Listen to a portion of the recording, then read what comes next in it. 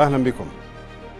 وفق تقارير كاذبة وادعاءات باطلة غزت الولايات المتحدة الأمريكية وبريطانيا العراق في عام 2003 رافعين شعارات الحرية والديمقراطية وتوفير العيش الرغيد للعراقيين.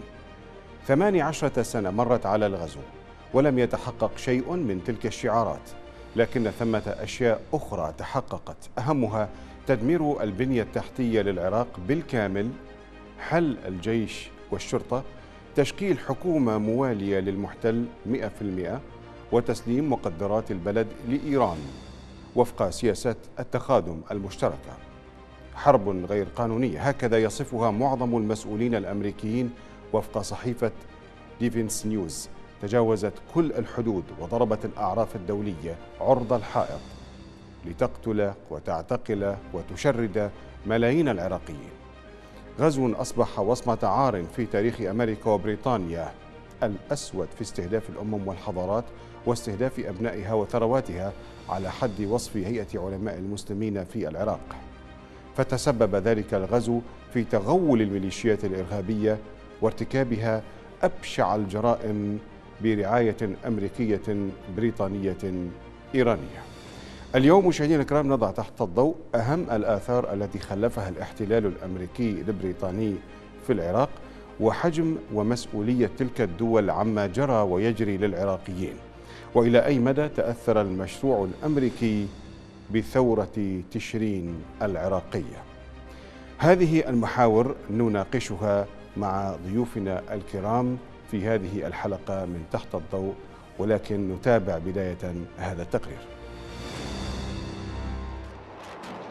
ثمانية عشر عاما مرت على الغزو الأمريكي البريطاني للعراق عام 2003 بحجج واهية وتقارير كاذبة نتج عنه قتل وجرح وتهجير الملايين من العراقيين.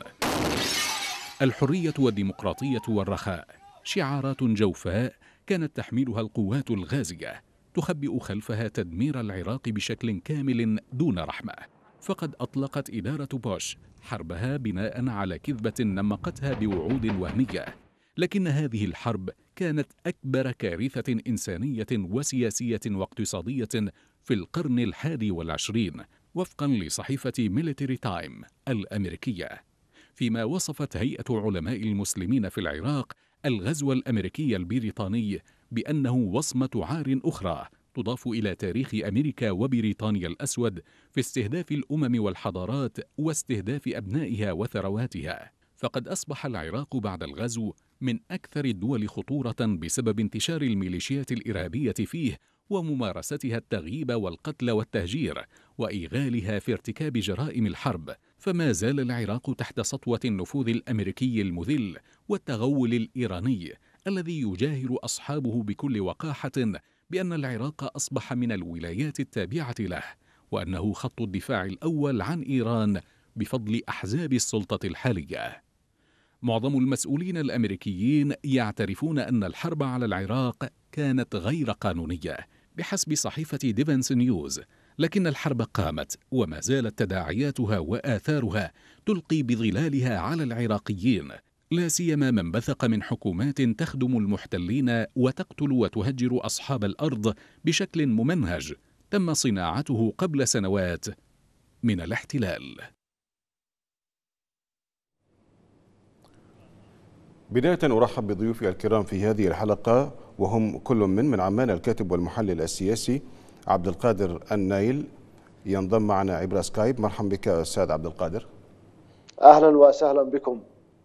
وأيضا الإعلامي والصحفي العراقي الأستاذ زياد السنجري ينضم معنا عبر الهاتف أو عبر سكايب عفوا من فيينا. مرحبا بك أستاذ زياد. أهلا وسهلا تحياتي لكم. وأيضا ينضم معنا عبر الهاتف الكاتب والباحث السياسي الأستاذ محمد جواد فارس من لندن. أستاذ محمد جواد مرحبا بك. أهلا وسهلا مرحبا. أهلا بكم ضيوفي الكرام. أبدأ معك عبر سكايب من عمان أستاذ عبد القادر النايل. يعني ما هي دوافع الولايات المتحدة وبريطانيا لاحتلال العراق عام 2003 الأجواء التي كانت حينها تروج الولايات المتحدة لضرورة نقل الديمقراطية والحرية للعراق آنذاك وضرورة تخليص العراقيين من معاناتهم المستمرة. هل لك أن يعني ترجع بنا الذاكرة إلى ما قبل عام 2003 وكيف كان التحشيد لاحتلال العراق وتدميره؟ أسعد الله مساءكم ومساء مشاهديكم الكرام وضيوفك الأعزاء. من المعلوم تماما أن الولايات المتحدة الأمريكية قبيل الغزو على العراق كانت تحشد الرأي الدولي على أن العراق يمتلك أسلحة الدمار الشامل وأنه يدعم منظومة الإرهاب في العالم. وبالتالي أصبح النظام العراقي آنذاك خطرا على المنطقة والسلام الدوليين والأمن كذلك. وبالتالي تحذر من أن هناك إذا ما تم إنهاء عملية السلاح سلاح الدمار الشامل في العراق فإنه ستكون تداعياته خطيرة. ورغم كل هذا التحشيد الأمريكي على العراق لم تستطع الولايات المتحدة الأمريكية وبريطانيا من تصويت مجلس الأمن الدولي على شن حرب على العراق بل بالعكس فشلت. وقد شهدنا مدن العالم كيف تظاهرت ضد بداية العدوان والغزو الأمريكي البريطاني الإيراني على العراق. لأنه أنا دائما أقولها بصراحة أن الغزو لم يكن فقط بريطانيا وأمريكيا. نعم تحشدت معه دول لكن إذا ما رجعنا بالحقائق التي تكشفت في اجتماعات السويد نرى أن الغزو تمثل في ثلاثة رؤوس للشر وهي الإدارة الأمريكية وبريطانيا والإيرانيين.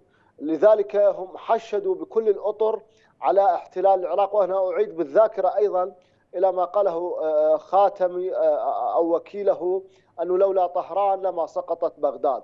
على هذا الأساس فكانت الأجواء مشحونة باتجاه تغذية أن العراق يمثل خطرا كبيرا على المنطقة. وبالتالي بعد أن شنوا عدوانهم وغزوهم الباطل على العراق وبالتالي استخدموا جميع الأسلحة الدمار الشامل هم أنفسهم منذ اللحظة الأولى على العراقيين وقتلوا الأبرياء.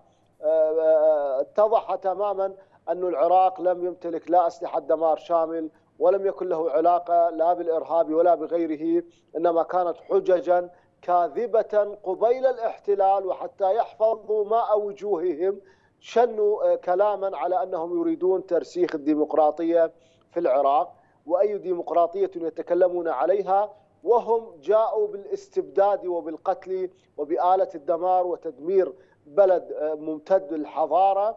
وما نعيشه اليوم بعد ثمانية عشر عاما من الاحتلال. نعيش نكبات على جميع المستويات. لا زال البلد يئن تحت وطأة الاحتلال المركب الأمريكي والإيراني. ولا زال البلد حقيقة منهار بجميع مستوياته ولا زال هؤلاء أدعياء الديمقراطية يسلطون على البلد. هؤلاء الذين جاءوا معهم آبان الغزو ودخلوا من إيران ودخلوا من مناطق أخرى وسلموهم السلطة في العراق وهم يفشلون في كل عام. بل أصبح العراق بلدا منهارا في جميع مستوياته الصحية والتعليمية والاقتصادية والإنسانية والاجتماعية. وبدل ما كان العراق منارا للعالم بالعلم أصبح اليوم أبنائه يهاجرون وأصبح أبنائه ينزحون ويسكنون في خيم والكل يعاني في مأساة حقيقية. هذا ما خلفه الاحتلال وهذه ما خلفته الديمقراطية التي زعموا ترسيخها. ولا أعلم لماذا هذه الأحزاب فقط هي من تدار في كل أربع سنوات. هل الشعب العراقي إلى هذه الدرجة والعالم يعلم نباهة الشعب العراقي هل الشعب العراقي لهذه الدرجة أنه لا يفهم بإعادة هذه الوجوه بالتالي يبين أنه لا ديمقراطية في العراق وأن هؤلاء يحكمون بشكل ديكتاتوري. نعم. ابقى معي لو سمحت أستاذ عبد القادر النايل سأعود إليك مرة أخرى. أستاذ زياد السنجري مرحبا بك مرة أخرى. يعني شهد العراق واحتلال العراق أكبر عملية قتل وتصفية للنخب المجتمعية وحل مؤسسات الدولة وخاصة خاصة مؤسسة الجيش وعمليات قتل وتهجير كبيرة. لنرجع إلى عام 2003 والكثير من يتساءل هل تم استهداف العراق في هذا العام تحديدا أم قبل العام 2003 نعم تحياتي لك أخي الكريم. الحقيقة استهداف العراق كان ضمن مشروع ومخطط معد مسبقا وقبل سنوات طويلة خاصة مع بداية تبلور المشروع العراقي ونهوض العراق وتأميم النفط وبناء منظومة اقتصادية وأمنية آه، وعلمية وخدمية متكاملة في داخل العراق. لذلك استهداف العراق لم يأتي وليدة اللحظة أو الصدفة آه، مثل ما يتخيل البعض وإنما جاء نتيجة استهداف هذا المشروع القومي هذا المشروع الكبير العلمي الكبير الذي أراد أن ينهض بالعراق وبالمنطقة والانتقال من مرحلة الدول العالم الثالث النامي إلى الدول المتقدمة وتحقق للعراق ما لم يتحقق لكثير من الدول التي كانت تحلم أن تصل إلى مستوى ما وصله العراق عندما قضى على الأمية وقدم الخدمات وانتعش الاقتصاد وبنى منظومة عسكرية متكاملة وبنى منظومة اقتصادية هائلة. لذلك نجد الدينار العراقي كان متقدم آه، على بقية العملات في العالم. وكذلك الجواز العراقي الذي كان من أفضل الجوازات في العالم في ذلك الوقت. وكثير من الأمور يطول شرحها لكن الحقيقة هذا الأمر لم يرق للإدارة الأمريكية والهيمنة. الاستعمارية في ذلك الوقت وبنوا مشروع متكامل لجر العراق آه، في أتون حروب فرضت علينا عندما تدخل آه، تدخلت إيران في الشؤون الداخلية وعندما جاء الخميني على مدار طائرة فرنسية واستطاع آه، الخميني أن يبدأ حرب آه، طالت لثمان سنوات حاولوا فيها تأخير نمو المشروع العراقي والعربي والقومي والذي بدأه العراق. لذلك استكمالا لهذا المشروع الحقيقة بدأوا في عام 91 ثم الكل يعلم بأن عام 2003 جاء آه، نتيجة تحصيل حاصل باعتبار أن آه، وعد المشروع وصل إلى نهايته. ولذلك أول ما بدأت القوات الأمريكية باحتلال العراق بناء على كذبة آه، مشهورة وهي امتلاك العراق لأسلحة دمار شامل. تبين فيما بعد بأن كل ذلك كذب ثم انتقلوا إلى كذبة أن العراق يدعم الجهات الإرهابية. الدولية في العالم. وأثبت ذلك بالدليل القاطع أن هناك هذه أيضا كذبة حتى قالوا إنهم سينشرون الديمقراطية في داخل العراق. وتبين أن الديمقراطية هي آه، السلاح المنفلت والقتل والاعتداء على آه، الجيران وقتل المواطنين وتشريدهم. وهناك لدينا الملايين من الأرامل والأيتام في داخل العراق والمهجرين آه، في داخل وخارج العراق والاميين في داخل العراق.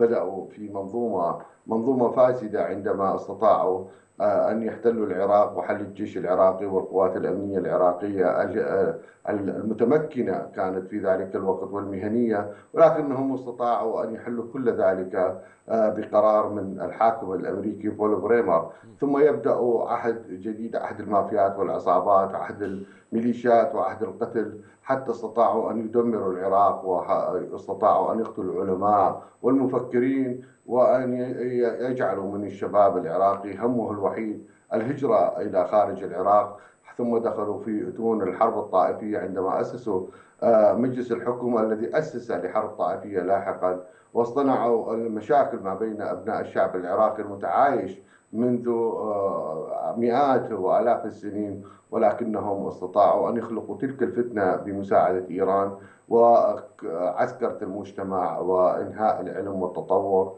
وإنهاء كل مظاهر آه، الرقي في داخل المجتمع العراقي من ثقافة ومن فنون ومن إعمار وبناء وجعلوا من العراق مرتع للميليشيات والعصابات والمافيات التي أحرقت الحرث والنسل في داخل العراق ودمرت العراق ولربما كل الإحصائيات العالمية والدولية تشير إلى تراجع العراق دائما ما يتذيل الترتيب في كل شيء في الجواز العراقي في مستوى التعليم في تراجع الجامعات العراقية وكل مناحي الحياة الأخرى. حقيقة صور مؤلمة لا تختصر في دقائق ولكن أستاذ زياد يعني آه آه، استجمعت هذه الصور وذكرتها لنا وبكل ألم. آه، طبعا نستذكر هذا الأمر. أستاذ محمد جواد فارس الكاتب والباحث السياسي ينضم معي من لندن. مرحبا بك مرة أخرى أستاذ محمد. لماذا أرادوا تدمير العراق وقتل أبنائه؟ طبعا بالتأكيد يجب أن نتذكر جيدا أن هناك مخطط إمبريالي صهيوني كشف عنه هنري كيسنجر في السبعينات في كتاباته أن الشرق الأوسط هو منطقة غنية بالبترول ومن أجل حماية دولة الكيان الصهيوني يجب استغلال هذه المنطقة من أجل الهيمنة والسيطرة عليها. وبالتالي هذا المخطط أصبح قيد التنفيذ بعد أحداث أيلول التي جرت في الولايات المتحدة ومجيء جورج بوش إلى السلطة بحيث وجدوا أن هناك أعذار اختلطوها وهي الأعذار الكاذبة التي أكد آه، كولين باول وهو صاحب المشروع الذي تحدث فيه من مجلس الأمن أن هناك مختبرات يقوم فيها النظام العراقي من أجل آه، إيجاد صيغة لأسلحة الدمار الشامل متجولة في المناطق. وهذا ما حصلوه من عملائهم اللي موجودين بالخارج ظللوا فيهم. والمعارضة العراقية لعبت دور قذر في هذا الاتجاه وهناك أشخاص آخرين عندما كانت هناك فرق تفتيش متواجدة في بغداد ومنها البرادعي كان يتحدث بأن العراق متعاون ولكن عندما يخرج إلى الخارج يقول أن العراق غير متعاون. وهذا مما آه، أنطى ذريعة للأمريكان وحلفائهم من أجل ترتيب آه، قضية غزو العراق واحتلاله ومن ثم تقويض الدولة العراقية على هذا الأساس وجرى فعلا أنه آه، جاءوا بعملاء هذه معهم مع الدبابة الأمريكية وسيطروا على الوضع. وللأسف كان من المفروض على النظام السابق أن يتخلى عن كثير من القضايا من أجل توحيد شعب العراق للتصدي للاحتلال لكن هذا لم يجري وهو أنه الوحدة العراقية ما كانت موجودة أستاذ محمد يعني كما هو معلوم آه، كما هو معلوم يعني آه، أن آه، العراق تم احتلاله بحجة امتلاكه أسلحة دمار شامل. برأيك يعني لو لم تكن هذه الحجة متوفرة ألا تعتقد أنهم ربما يختلقون حجة أخرى لاحتلاله وتدميره؟ بالتأكيد لكن وجدوا من يسير لهم هذه الحجج حتى أنه عندما هرب آه، حسين كامل إلى الأردن وأنتم تتذكرون جيدا والشعب العراقي يتذكر قال لا تصدقوا بالنظام لأن هناك أسلحة موجودة بالأماكن المتواجدة كذا وكذا وأعطى وثائق وأدلة للمخابرات الأمريكية من أجل ضربه.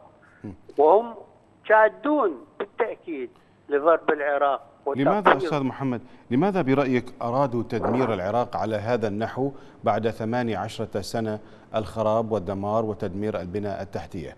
هذه أهداف آه، وضعها المحتل للعراق. آه، لماذا العراق تحديدا؟ العراق لأنه موقع الجغرافي اولا وجود النفط ثانيا. آه، اعتبروا أن العراق بعد أن خرج من الحرب العراقية الإيرانية وأصبحت إمكانية آه، هائلة للجيش العراقي كانوا يخافون أن هذا الجيش ممكن أن يحدث آه، يعني يجري في مناورات ضد النظام الكيان الإسرائيلي وفعلا هذا اللي جرى في قصف النظام للكيان في صواريخ متعددة آه، مما كانوا يرغبون في تحطيم الدولة العراقية.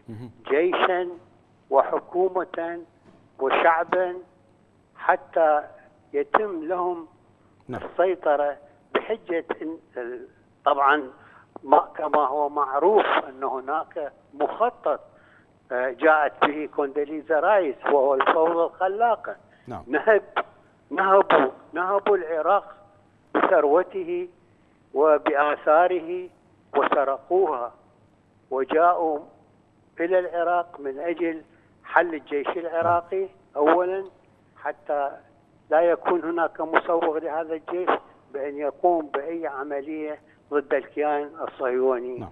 في هذه النقطة. وهذا ما جرى. نعم. اسمح لي أن ننتقل أستاذ محمد إلى الأستاذ عبد القادر النايل الكاتب والباحث السياسي العراقي عبر سكايب من عمان. أستاذ عبد القادر النايل يعني آه، آه، حل الجيش العراقي هذه المؤسسة آه، العسكرية التي لها تاريخها الطويل تشكيل الميليشيات كلها أحداث توالت بعد احتلال العراق عام 2003 ما نراه الآن من مظاهر انتشار السلاح المنفلت آه، غياب آه، القانون آه، تسييس القضاء بحسب ما يصف الكثير من المحللين والمتابعين للشأن العراقي. يراه أهدافا وضعها الاحتلال الأمريكي حينها. من وجهة نظرك يعني ما هي الآثار التي خلفتها هذه الإجراءات الأمريكية بتشكيل حكومات متعاقبة منذ عام 2003 وإلى الآن وحل مؤسسة الجيش العراقية وتشكيل الميليشيات ما هي الآثار التي خلفتها من وجهة نظرك؟ أستاذ عبد القادر تسمعني؟ إذا آه، ربما الصوت آه، لا يصل بشكل جيد للأستاذ عبد القادر النايل. السؤال آه، يعني محول إليكم أستاذ زياد السنجري. من وجهة نظرك كيف تنظر إلى الأمر تشكيل الميليشيات في العراق في زمن بريمر الحاكم الأمريكي؟ الآن آثارها كيف تجدها الآن؟ هذه الآثار التي خلفت المزيد من عمليات التهجير المزيد من عمليات التغيير الديموغرافي. نعم الحقيقة استطاعت الإدارة الأمريكية آه، آه، استجماع كل المافيات والعصابات والخارجين عن القانون والسراق والنهاب والمختلسين والهاربين من العراق تحت ما يسمى مؤتمر المعارضة الوطنية حتى انبثقت منه آه، مجموعة من اللصوص حكموا العراق وهذا ما قاله السيد طارق عزيز في أحد المقابلات آه، على أحد القنوات. قالوا لماذا لا تتفاوضون مع المعارضة العراقية؟ قال أين هي المعارضة العراقية؟ لا يوجد لدينا معارضة عراقية هؤلاء مجرد لصوص.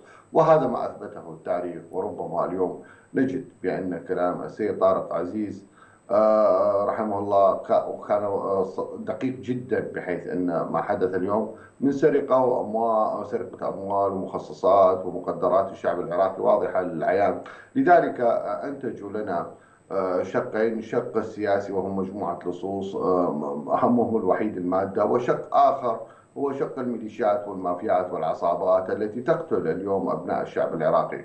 كان سابقا تحت ما يسمى الدفاع عن المكون أو المذهب عفوا قاموا بعمليات آه، قتل ممنهج طائفي.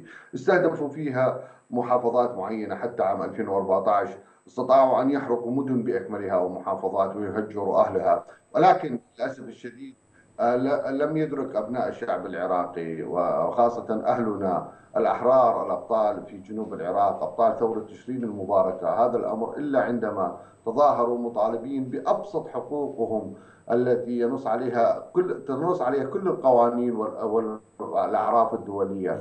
ولكن ما الذي جنوب عندما قامت تلك الزمرة التي قتلت في الموصل قامت تقتل في الناصرية والبصرة. وفي مدن جنوب العراق وقاموا باستهداف المتظاهرين والخطف وعمليات التهديد والوعيد والتهجير وقتلوا أكثر من 800 شخص شاب عراقي بريء وأستطاعوا أن يعوقوا الكثير من آه، آلاف من المتظاهرين. ويصيبهم بعاهات مستديمة. أدرك الآن الشعب العراقي بأن البؤرة التي تحكم العراق الآن والميليشيات التي تحكم العراق الآن آه، خلايا الكاتيوشا، استهداف البعثات الدبلوماسية، قتل المواطنين، الخطف، ليلة أمس شاهدنا استهداف ضابط مخابرات عراقي عندما نعم. قتلوا ندرك جيدا بأن هذه المنظومة التي أرادتها الولايات المتحدة بالتعاون مع إيران ندرك جيدا بأن كل ما يجري الآن سبق أن خطط له ليس بنظرية المؤامرة ونظرية الأهواء وإنما بالدليل والوقائع على الأرض وعلى الساحة. ولا يوجد أي شخص يستطيع أن ينكر بأن ما يحدث العراق الآن في العراق هو في قمة الفساد. ما يحدث الآن في قمة الطائفية. ما يحدث الآن في العراق هي أكبر دولة في العالم تنتشر فيها الميليشيات التي تأخذ أموالها من الشعب العراقي وتقتل أبناء الشعب العراقي. وولاءها لدول أخرى. وتقوم بالاعتداء على دول الجوار مثل ما حدث مع السعودية واستهدفت نعم. ابقى معنا أستاذ زياد. آه، سنعود إليك مرة أخرى بعد أن نتابع آه، هذا التقرير عن احتلال العراق. وما هي الآثار التي خلفها هذا الاحتلال على العراق والعراقيين؟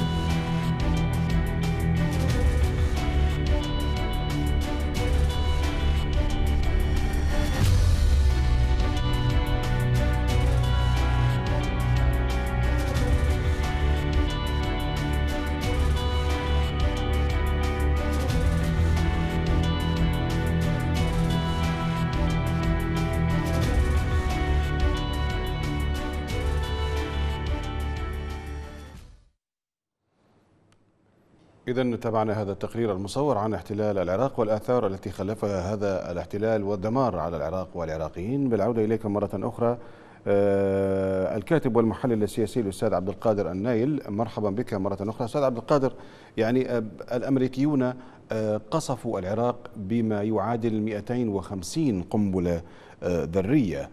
من اليورانيوم. يعني آه، هذا الأمر آه، رغم اعتراف الأمريكيين بأن هذه الحرب هي حرب غير قانونية يعني ما هي المسؤولية التي تقع على عاتق الولايات المتحدة وبريطانيا آه، عن الآثار التي خلفها هذا الدمار وخلفتها هذه الحرب بالإضافة إلى قتل الكثير من النخب المجتمعية وقتل الكثير من العراقيين وازدهار صناعة الأعداء من الداخل العراقي وازدهار أيضا صناعة السجون والمعتقلات السرية والعلنية من يتحمل المسؤولية؟ من المؤكد أن الولايات المتحدة الأمريكية ومن معها من البريطانيين والإيرانيين يتحملون المسؤولية الكاملة عما جرى في العراق من تدمير ومما آه، آه، وصل به الحال من إزهاق الروح العراقية بطريقة واضحة تماما الاستهداف الذي حصل للعراق والكمية الكبيرة التي استخدمت فيها من القوة والقنابل والأسلحة المحرمة دوليا والتي هي جاءت مدعية أنها تريد غزو العراق لأنها لأن العراق فيه أسلحة دمار شامل يؤكد حجم الحقد الأمريكي على العراق وخصوم العراق تحديدا.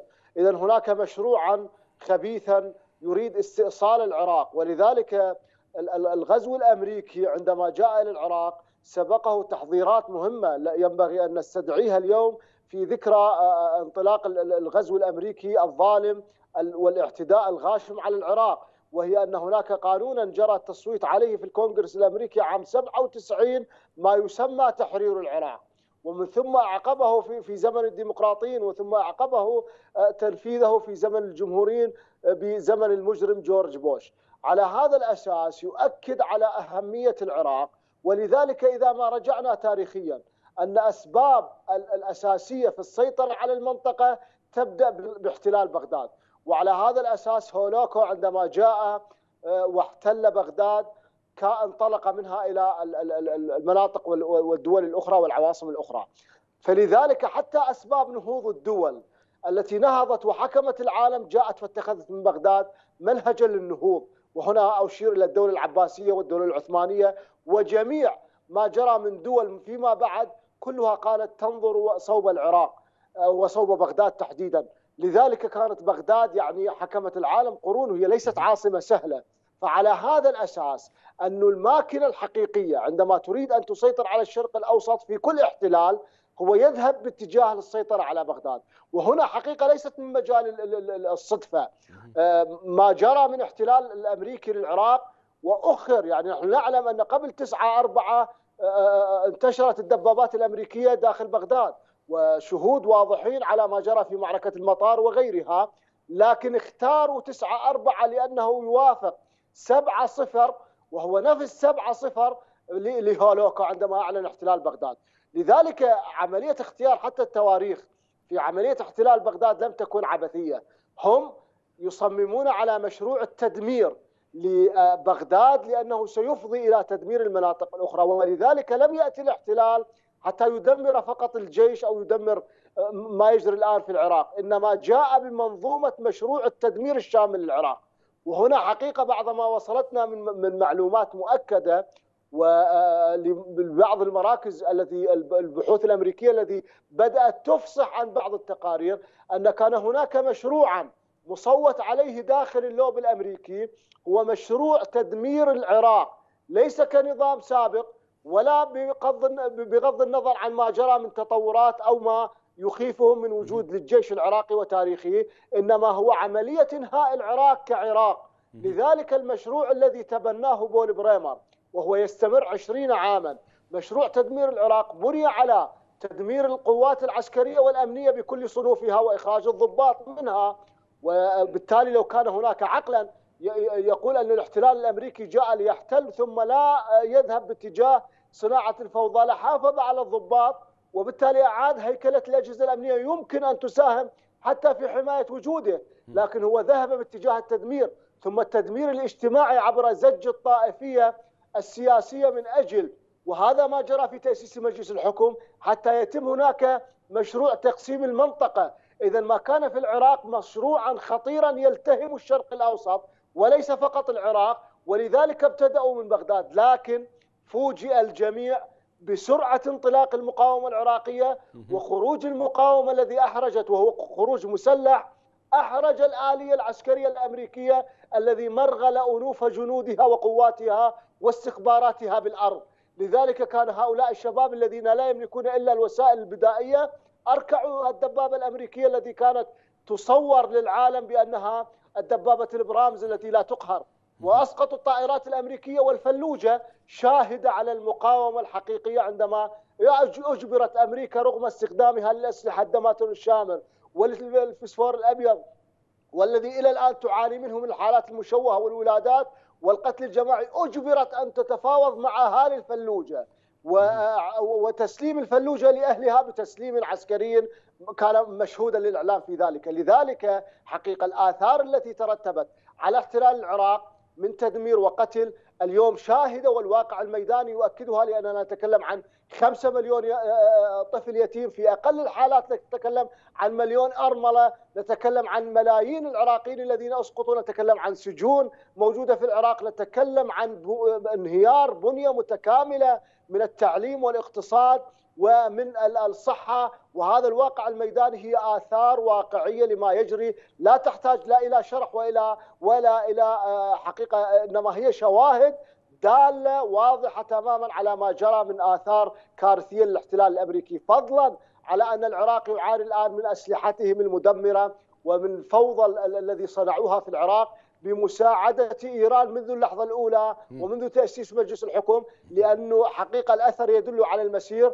عندما أوكلت الولايات المتحدة مجلس الحكم لكل ما يسمى بالمعارضة داخل إيران ومرتزقة إيران أن يكونوا هم قادة مجلس الحكم واضح تماما على على حجم أن هناك احتلالا مركبا وأن هناك تحالف الشياطين من أجل اقتلاع العراق لكنهم حقيقة فوجئوا بهذا الشعب شعب الجبارين الذي صنع المعجزات أمام هذا ولأنه ترك وحيدا. لأنه لو لم يترك وحيدا لقلنا أن هناك مساعدات وأن هناك منعت حتى الشعوب العربية والشعوب المسلمه الذي تحيط بالعراق من مساعدة شعبه. لذلك ترك وحيدا ليذبح وينحر من الوريد إلى الوريد لكن الشعب العراقي لا زال صامتا ولا زالت كل المؤشرات تدل على أن الشعب العراقي سينهض من جديد لأنه يستأنف كل مراحل القوة والنهوض في مواجهة هذه المشاريع الخبيثة الذي أصبح أصبح الوعي وهو طبعا عندما تكسب معركة الوعي ستكسب كل المعارك الأخرى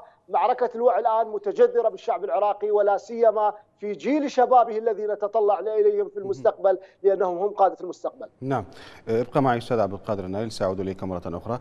بالعودة إليك أستاذ محمد جواد فارس الباحث السياسي من لندن. يعني الكثير من المراكز الأمريكية البحثية تحدثت عن أن هناك مشروع لتدمير العراق. لا يخفى علينا أستاذ محمد وعلى الجميع أن هناك بالسرد التاريخي هناك الكثير من المصطلحات التي يعني ترادفت إلى أسماعنا منها خارطة الطريق منها الفوضى الخلاقة والتي تحدثت أيضا أستاذ محمد عن كيسنجر وما جرى في ثنايا ما كتبه. أستاذ محمد يعني من وجهة نظرك يعني إلى أي مدى حققت الأحزاب والحكومات التي نصبتها واشنطن في المنطقة الخضراء هذه الأهداف التي وضعت من قبل؟ طبعا نصبت هذه الأحزاب التي استلمت السلطة بعد 2003 من أيام اياد علاوي وحتى الكاظمي إنها ترسم لهم مخطط الولايات المتحدة ترسم لهم مخطط وهم جاهزون بتنفيذه. وهذا المخطط هو استمرارية لتدمير العراق في كل الاتجاهات اجتماعيا واقتصاديا صحيا وتعليميا. وهذا ما نراه ونشاهده يوميا. ما يجري في العراق من تدمير. ولذلك هذه الشلة التي هي استباحت العراق من أجل مطامح وخاصة عندما يعمل هؤلاء الذيول إلى إيران بتوجيه ضربة إلى الاقتصاد العراقي. وعلى سبيل المثال عندما انتهت الصناعة والزراعة في العراق أصبحوا يتجهون صوب إيران من أجل الاستيراد من إيران وإيران لم آه لم آه تج لم آه تزيل ابدا أي عقبة اتجاه هؤلاء بحيث إنها حتى سخرتهم من أجل تبديل العملة حتى يكون الاقتصاد الإيراني في خير والدولار الذي يستوردوه الذي يستوردوه من العراق يحول إلى إيران لسد ثغرة الحصار الأمريكي على إيران في اقتصادياته. إذن ولذلك اذا قضيه سخروها قضية تدمير المدن بالكامل قضية حرق البساتين قضية قتل الثروة السمكية قضية الضغط على العملة العراقية كلها من الممارسات التي يعني نفذت في زمن حكومات ما بعد الاحتلال. هذا الأمر تراه مقصودا أستاذ محمد؟ طبعا بالتأكيد إنه هذا ضمن المخطط الإمبريالي الصهيوني اللي جاءوا به الأمريكان وبمساعدة إيرانية لتنفيذها على يد العملاء الذين هم يشاركون الآن في السلطة تحت تسميات معينة ولذلك هذا معروف لدى الشعب العراقي إنهم دمروا المزارع والسمك حتى السمك لم يأخذ منهم وبالعكس إنهم بالصناعات طبعا نعم. غير مرغوب فيها ودمرت المصانع التي كانت في النظام السابق شغالة نعم. على قدم وساق وهي تعمل من أجل تحسين وضعية الاقتصاد العراقي. نعم. حتى لا يبقى هذا الاقتصاد هو اقتصاد ريعي معول على النفط شكرا لك أستاذ محمد. البرميل النفطي. نعم. شكرا لك أستاذ محمد جواد فارس. بالانتقال إليك أستاذ زياد السنجري. طبعا القوة الوطنية كان لها السبق ويعني الدور في مقاطعة مقارعة المحتل ومقاطعة عمليته السياسية. هيئة علماء المسلمين مثالا على ذلك. إلى أي مدى ترى أن ما كانت تراه الهيئة وإلى الآن قد تحقق في العراق منذ احتلاله عام 2003 نعم أثبتت الأيام دقة ورجاحة عقل وحكمة الهيئة عندما اختارت الطريق الصعب وسبحت عكس التيار. وقاطعت العملية السياسية ونأت بنفسها عن افرازات الاحتلال الأمريكي على العراق، الحقيقة الهيئة وكثير من القوى الوطنية الأخرى استطاعت أن تقول كلمتها وأن تدفع ثمن باهظ ثمن هذه الكلمة وهو عدم الدخول في مهاترات وسجالات ومناكفات. العملية السياسية وافرازاتها وإلقاء الظل على الشعب العراقي، الهيئة كانت مصيبة إلى حد كبير جدا وكانت متيقنة بأن الهيئة وعلمائها ورجال الهيئة وكل مناصري الهيئه وكل مناصري القوى الوطنية في داخل العراق وفي خارج العراق أدركوا أن هذه العملية السياسية التي ولدت من رحم الاحتلال الأمريكي الإيراني على العراق ستكون وبال على الشعب العراقي ولا ولم يدخلوا إلى العملية السياسية رغم سياسات الترغيب اولا ومن ثم الترهيب عندما قامت العملية السياسية باجتثاث كل الكفاءات الوطنية وطاردت كل القامات والشخصيات في الهيئة وفي الأحزاب والتيارات. والأشخاص الذين قارعوا الاحتلال وقارعوا الأمريكان والإيرانيين ورفضوا الدخول في متاهات العملية السياسية التي أصبحت اليوم واضحة للجميع بأن عملية سياسية دمرت العراق بشكل كامل. واضح. شكرا لك أستاذ زياد السنجري أيضا كنت معنا عبر سكايب من فيينا أستاذ عبد القادر النايل أخيرا إلى أي مدى كشفت ثورة تشرين العراقية السلمية يعني كشفت عورة ما خلفه الاحتلال من حكومات عملت على تدمير العراق وسرقة العراقيين. لثورة تشرين حقيقة مهمة استراتيجية ومرحلية وفي مفصل مهم من تاريخ العراق حيث استطاعت أن تلعب دورا مهما في مواصلة النضال. الذي ابتدأ من 2003 في مقارعة الاحتلال ومشاريعه السياسية وكان يعول على أن تكون هذه المناطق الجنوبية هي إيهام بأنها حاضنة للعملية السياسية والمشروع التدمير الأمريكي. لكن هذا الوعي الحقيقة الذي انطلقت به ثورة تشرين أسست لمرحلة جديدة قلبت الطاولة على اللاعب الإقليمي الإيراني واللاعب الأمريكي. ولذلك لم تدعم مخرجاتها وغض الطرف عن قتل شبابها ورجالها ونسائها واعتقالهم ومطاردتهم وإطلاق يد الميليشيات الطائفية الموالية لإيران والعملية السياسية والاحتلال نعم. مطلقا في في عملية القتل والتدمير، فلذلك كان لها دورا مهما ثورة تشرين في مواصلة النضال العراقي وأنها تعول على الوعي الجديد ولذلك كشفت وعرت كل العملية السياسية والأحزاب مما جعل حقيقة أن هناك أملا في نهوض العراق سيكون أسرع مما هو متوقع لدى القوة التي نهضت الاحتلال واستشرفت أن هناك ربما أكثر من عقدين من الزمن ستناضل من أجل استعاده العراق، الآن بثورة تشرين أصبح هناك حقيقة الأمل اقترب الوقت وبالتالي قلصت المدة التي كانت ربما تتوقع أن تطول لثلاثين عاما. أنا أتوقع أن السنوات القادمة والسنتين تحديدا القادمتين ستلعب دورا مهما في تاريخ العراق ولها انعطافات كبيرة نعم. ومما سيسهل عملية استعادة العراق إلى شعبه. شكرا لك أستاذ عبد القادر النايل الكاتب والمحلل السياسي. كنت معي عبر سكايب من عمان. وأيضا نشكرك شكرا جزيلا الإعلامي والصحفي العراقي الأستاذ زياد السنجري عبر سكايب من فيينا شكرا لك. وأيضا الشكر موصول إلى الكاتب والباحث السياسي الأستاذ محمد جواد فارس من لندن. شكرا لك أستاذ محمد.